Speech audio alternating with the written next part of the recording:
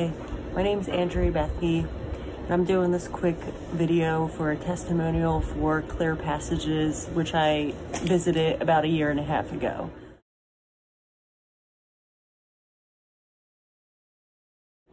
They helped treat me um, for abdominal adhesions. I had an emergency surgery about 15 years ago when I was 15 for my appendix. And then I've had some other uh, surgeries since then, all for athletics. And um, when I realized what was going on in my in my abdomen, I went to about 15 different body workers looking for help. Um, scar tissue release, all types of uh, myofascia stuff, and nothing was working. I was getting really worried um, that there wasn't a solution because I was having trouble going to the bathroom. Um, my cycle stopped. Just a lot of like really scary stuff. And then I came across clear, clear passages on the internet and I gave them a call. I took out a medical loan and then it was one of the best decisions I ever made for myself. Um,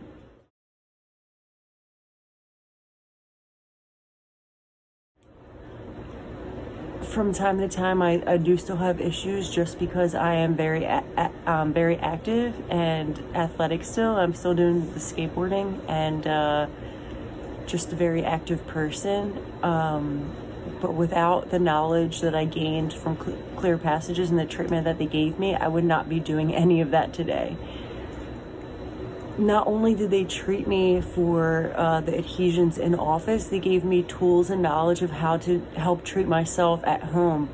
And it is something that I, I do daily and it has tremendously helped me. I, I am so grateful for, for Clear Passages and I would highly recommend them to anyone.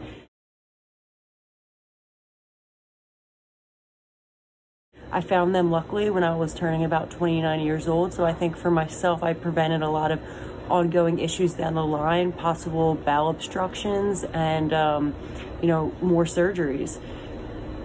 They treat you naturally without surgery and then teach you how to help yourself, which is one of the best things. And not only did they help me with the physical stuff, they uh, my therapist was emotionally there for me and was, um, you know, reached out after, um, after my treatment to see how I was doing. And like I said, it sent me resources over the year, especially if I've told her some things that have been going on. So, um, things have gotten so much better since going there and I, I don't know what else to say to tell you that if you're on the edge um, trying to decide that what do you have to lose? And that's what it was for me. And um, I have not found one other place that's like this or does the um, releasing of the adhesions, that technique.